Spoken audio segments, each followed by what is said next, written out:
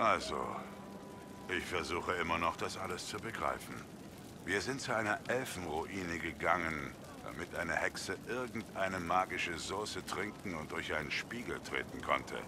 Und dann sind wir hier gelandet. Habe ich erwähnt, dass diese Scheiße, die euch passiert, völlig verrückt ist? Ich will nicht mehr darüber nachdenken. Reden wir zur Abwechslung mal über etwas Normales? Erzählt mir mehr von Bianca. Das kann ich nicht versprechen, aber fragt nur. Was wollt ihr wissen? Warum ist die Händlergilde eine solche Gefahr für Sie? Ehrlich gesagt ist sie eher eine Gefahr für mich. Eigentlich dürfen wir uns einander auf höchstens 300 Wegstunden nähern. Wenn die Gilde erfährt, dass wir zusammen gesehen wurden, friert sie mein Vermögen ein und dann lässt sie mich töten. Oder umgekehrt.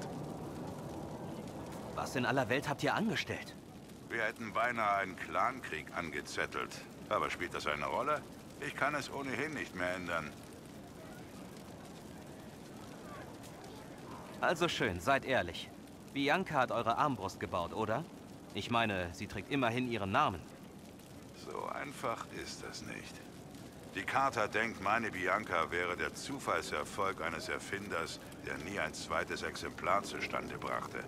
Wenn sie wüssten, dass noch jemand daran beteiligt war, jemand, der sie nachbauen könnte, das wäre übel. Ich kann also wirklich nicht über die Sache reden. Ich habe schon genug Blut an meinen Händen. Also, wie lange wart ihr beiden zusammen? Nun, wenn ihr es genau wissen wollt, überhaupt nicht. Normalerweise sind wir durch einen Kontinent voneinander getrennt. Wir schreiben uns Briefe und ab und an treffen wir uns. Keine Ahnung, ob wir dadurch zusammen sind. Scheiße. Seit wann geht das jetzt schon so? 15 Jahre. Toll. Jetzt fühle ich mich alt. Tausend Dank. Woher kennt ihr Bianca? Die Frau meine ich, nicht die Armbrust. Ich habe sie vor Jahren kennengelernt, als sie noch in Kirkwall lebte. Ich suchte damals jemanden mit mechanischen Fähigkeiten. Bianca ist ganz ohne Zweifel die beste Schmiedin, die ihr je treffen werdet. Ich habe sie nicht mehr gesehen, seit sie geheiratet hat und nach Orlais gezogen ist. Bianca ist verheiratet? Irgendwie dachte ich, ihr hättet eine gemeinsame Vergangenheit. Biancas Eltern sind Kallner, Oberflächenzwerge, die so konservativ sind, dass sie nicht mal pissen gehen, ohne die Ahnen um Erlaubnis zu bitten. Sie haben einen Burschen aus einer Schmiedekaste für sie auserkoren. Wohlhabend angesehen, hat eine tolle Ambosssammlung. Der perfekte Ehemann. Die Hochzeit soll traumhaft gewesen sein. Jedenfalls die, zu der Bianca gekommen ist. Ich denke, das ist im Moment alles. Alles klar. Ich werde hier warten.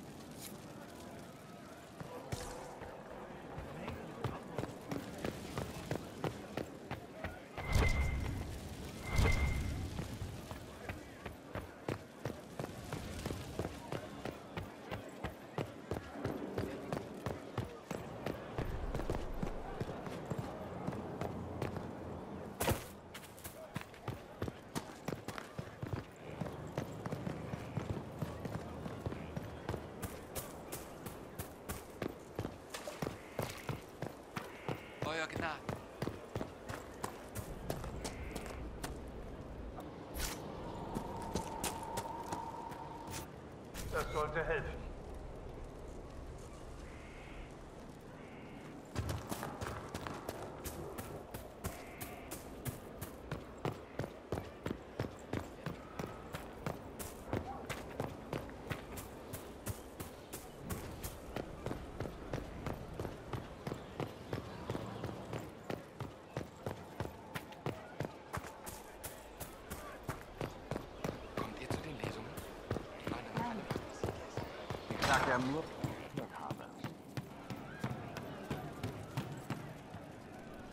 Um Korypheus zu erledigen, müssen wir vorher also einfach nur seinen Drachen töten?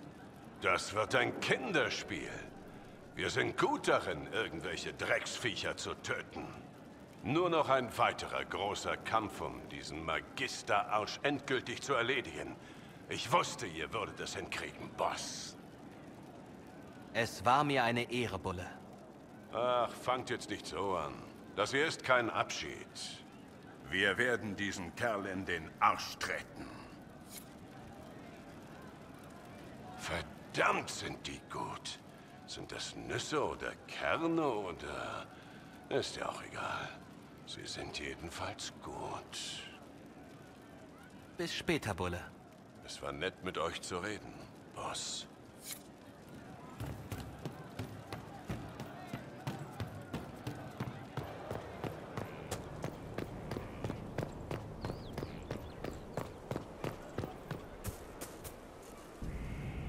Wir haben in der Arbor-Wildnis gesiegt. Der Erzdämon hätte eine ernsthafte Gefahr für unsere Armee darstellen können. Doch er flog fort, als sich das Blatt zu unserem Gunsten wendete. Er ist jedoch noch immer dort draußen. Ich frage mich, was Korypheus jetzt plant. Was er uns auch entgegenwirft, wir werden damit fertig. Ihr solltet Korypheus nicht unterschätzen. Er ist mächtig. Und ihr müsst ihm noch Auge in Auge gegenübertreten. Aber er wird kommen. Ihr werdet eure Chance erhalten. Wir werden uns Korypheus gemeinsam stellen. Nichts würde mich stolzer machen, als an eurer Seite zu kämpfen.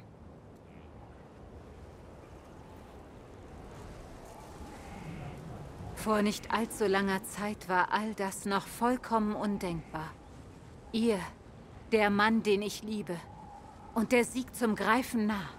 Es wird Zeit, darüber nachzudenken, was als nächstes kommt.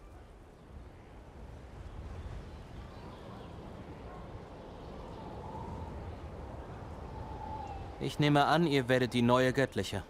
Falls dem so ist, was wird dann aus uns? Wir können dennoch zusammen sein. Können wir das? Ich bin mir da nicht so sicher. Noch habt ihr mich nicht verloren.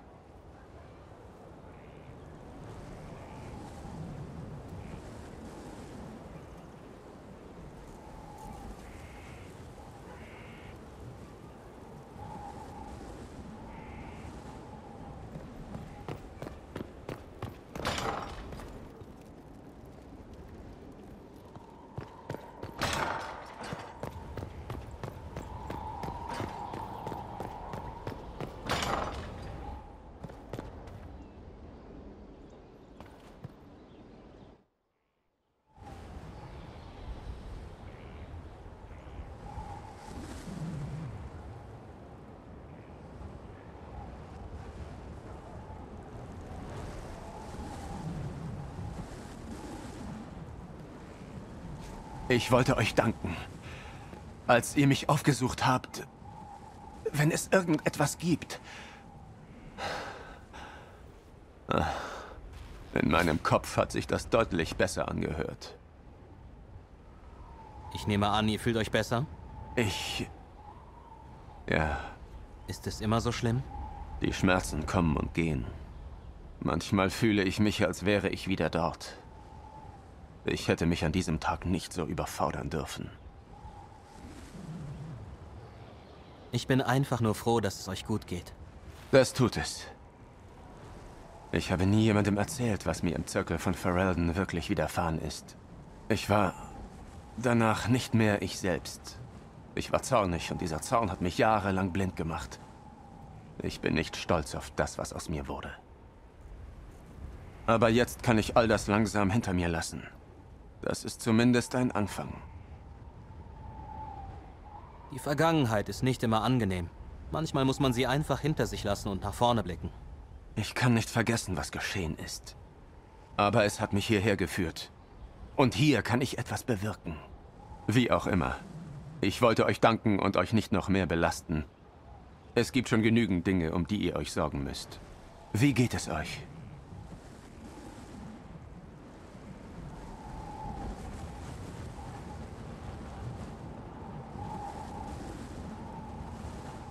Ich habe hier großartige Leute kennengelernt. Es hilft mir, sie an meiner Seite zu wissen. Ja, ihr befindet euch zweifellos in interessanter Gesellschaft. Und ich schätze, das gilt auch für mich.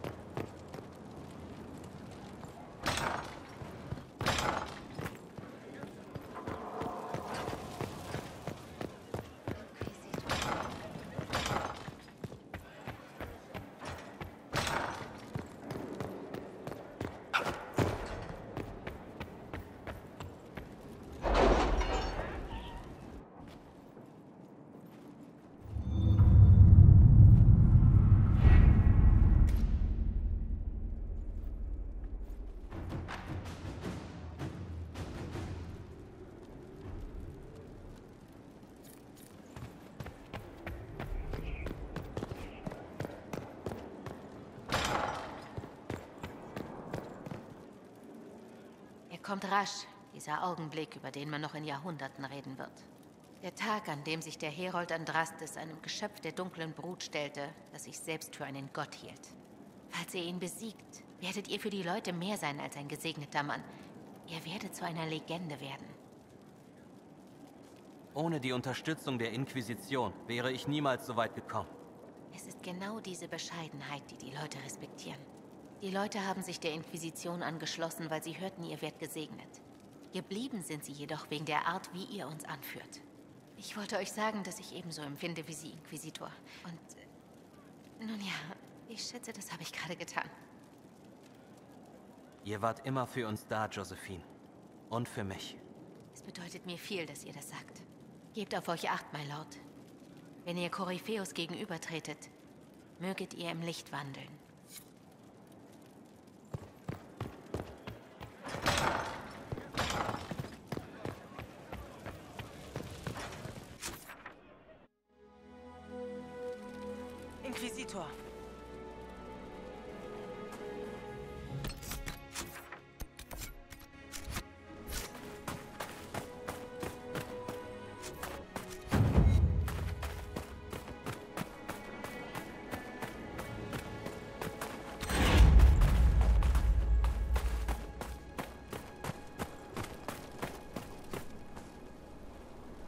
Neuigkeiten, Sir.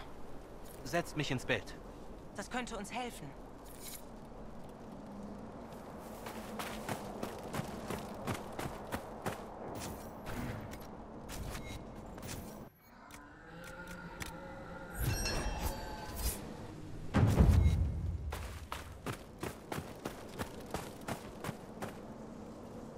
Es gibt neue Berichte. Setzt mich ins Bild. Seht selbst, Sir.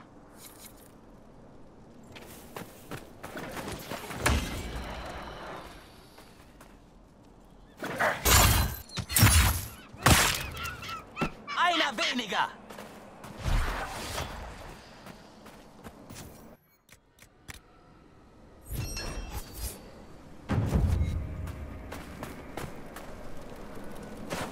Das hier könnte euch interessieren, Sir. Setzt mich ins Bild. Das könnte uns helfen.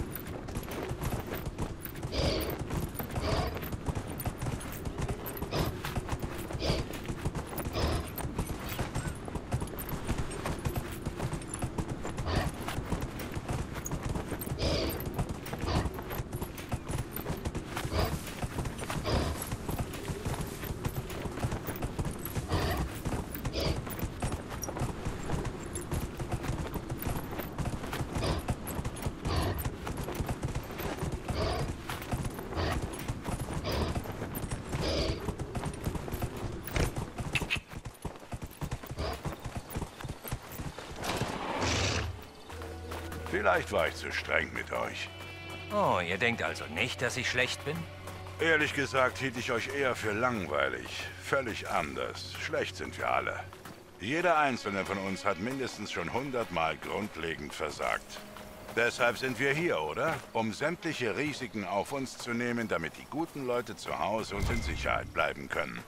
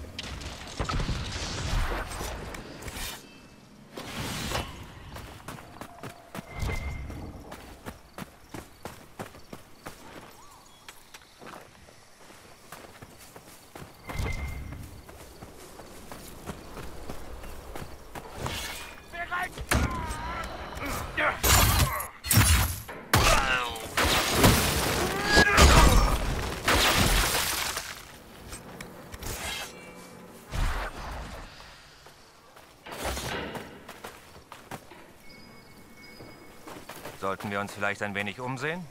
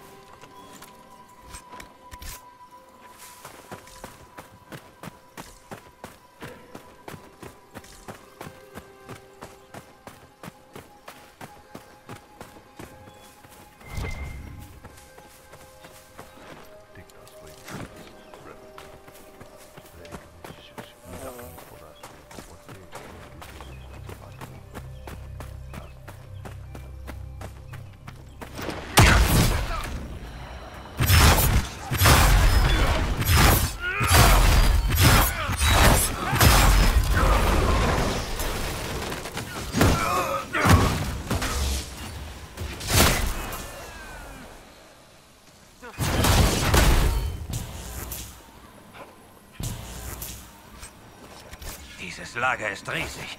Wie lange waren die schon hier? Das muss das Hauptlager der Venatori gewesen sein. Wenn man bedenkt, wie viele von denen wir erschlagen haben, dürfte jetzt erstmal Ruhe sein. Komm schon, wir wissen immer noch nicht, was sie hier wollten.